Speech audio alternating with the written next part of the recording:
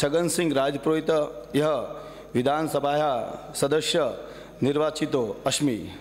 ईश्वरं सपतेत् अहम विधि द्वारा स्थापितं भारतस्य संविधान प्रति सत्यसदां निष्ठा च रक्षि, रक्ष्यामि।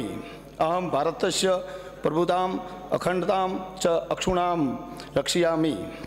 यत् पदं च अहं गृह्णामि तस्य कर्तव्याना श्रद्धापूर्वक निर्वहन करिष्यामि। जय श्री राम। श्री छोटू सिंह 55